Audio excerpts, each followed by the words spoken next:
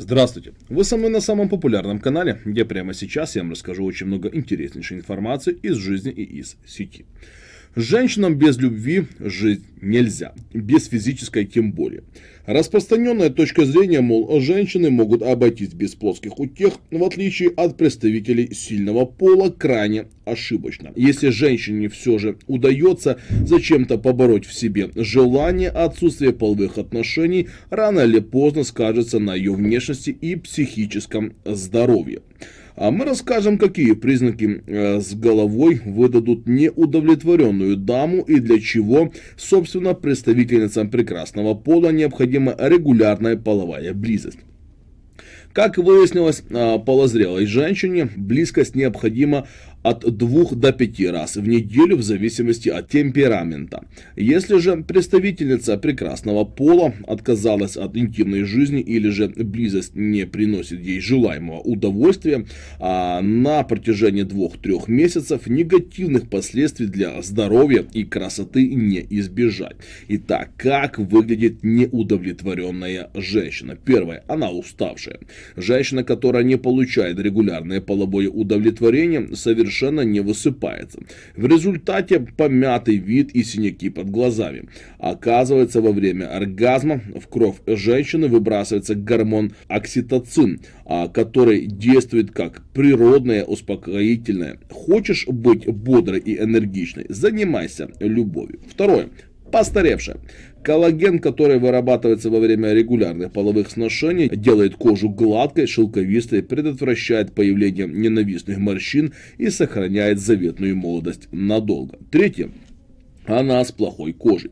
А, негативные эмоции, а, вызванные отсутствием половой близости, сами по себе делают женщину менее привлекательной. Словно этого мало, а кожа становится сухой, теряется свежесть, упругость и природное сияние. Появляются прыщи. Волосы становятся тусклыми и склонными к выпадению. Четвертое. Она нервная.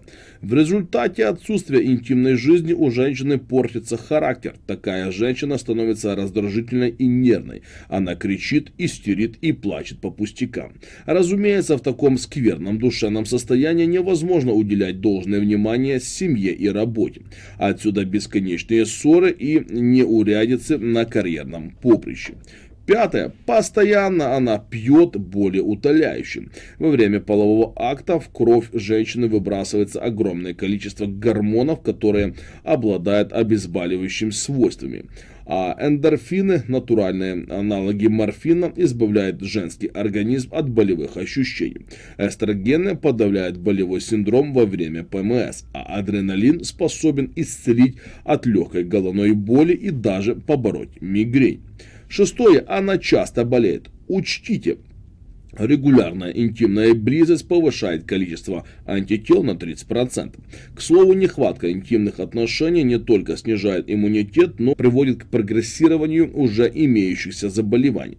При длительном отсутствии половой жизни у женщины могут развиться достаточно серьезные проблемы. Маточное кровотечение и даже опухоли в области половых органов. Седьмое. Она все забывает.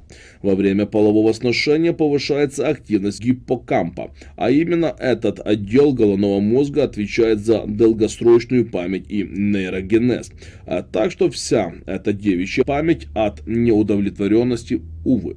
И восьмое, с пониженной она самооценкой. Как ни крути, а отсутствие интимной близости напрямую влияет на женскую самооценку. Даже если женщина давно находится в отношениях и не утратила свою привлекательность, отсутствие близости может заставить ее думать, что что-то с ней не так. Регулярная половая близость – лучший способ борьбы с заниженной самооценкой, ведь это помогает женщине почувствовать себя привлекательной и желанной. Ну что же, на этом у меня все. Более детальная информация есть на нашем сайте, так что подписывайтесь, раскидывайте это видео видео вашим друзьям и близким и, конечно же, ставьте лайки. Не забудьте нажать на колокольчик. Всего вам самого хорошего. Услышимся.